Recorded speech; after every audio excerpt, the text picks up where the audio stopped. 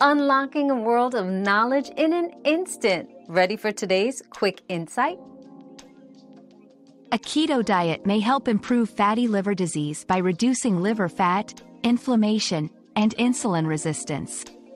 A diet low in carbs and high in healthy fats promotes weight loss, which is crucial for managing fatty liver. However, consulting a healthcare professional before starting any diet is essential for personalized advice and monitoring progress. We've quenched today's curiosity, but there's always more to learn. Keep the curiosity alive by subscribing and joining us for our next adventure.